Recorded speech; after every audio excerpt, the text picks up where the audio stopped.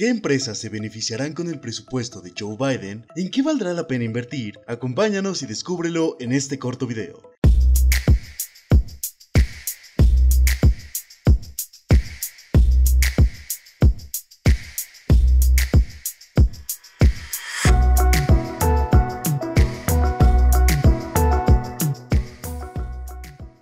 El presidente de Estados Unidos, Joe Biden, tiene entre sus manos una tarea retadora, dirigir la recuperación económica del país luego de la crisis sanitaria que ha generado unos índices de desempleo que no se habían visto desde la Gran Depresión. ¿De cuánto estamos hablando?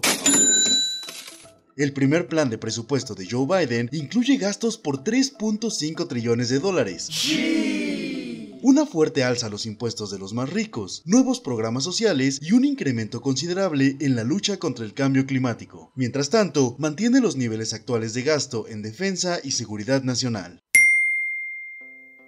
De acuerdo a las cifras, la deuda del país alcanzaría el 117% de su Producto Interno Bruto para 2031, lo que superaría los niveles alcanzados durante la Segunda Guerra Mundial.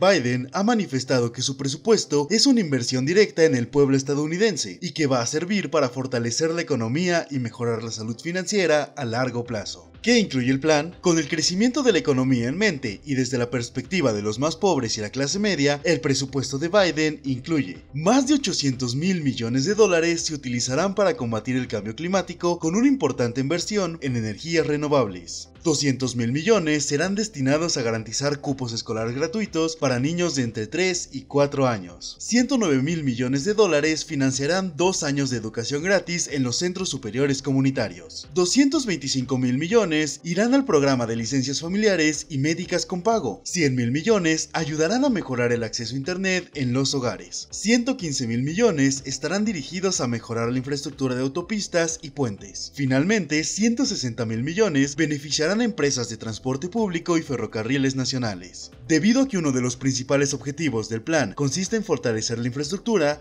vale la pena que conozcas cuáles son las empresas que recibirán estos beneficios para que les hagas seguimiento si te interesa invertir en ellas más adelante. Por otra parte, el plan tiene una importante omisión, la enmienda de Hyde. ¿En qué consiste? Es una norma federal que contempla que el dinero público no puede ni debe financiar abortos en ningún área del territorio de Estados Unidos, excepto en casos de incesto o violación. Biden ha sido el primer presidente en excluir esta enmienda de su plan de presupuesto, lo que ha sido celebrado por los sectores más progresistas. ¿Y qué hay de la inflación y el déficit? Cecilia Rose, la principal asesora económica de la Casa Blanca, ha confirmado que efectivamente la inflación aumentará en los próximos meses, pero se estabilizará en una tasa anual cercana al 2%. Algunos economistas, entre los cuales se encuentra Larry Sommer, asesor del gobierno de Barack Obama y Bill Clinton, no son tan optimistas. Han advertido que un gasto semejante podría aumentar la inflación, lo que llevaría a la Reserva Federal a aumentar los impuestos, dejando al país en riesgo de caer en una recesión. El presupuesto de Biden también agregaría unos 14.5 mil millones de dólares adicionales a la deuda de Estados Unidos para la próxima década. Sin embargo, la Casa Blanca ha señalado que esa deuda quedaría cancelada con los incrementos fiscales de los próximos 15 años. Hay que tener en cuenta que esta propuesta de presupuesto no necesariamente se convertiría en realidad tal y como ha sido planteada. Aunque los demócratas controlan el Senado y la Casa Blanca, todavía habrá mucho que debatir.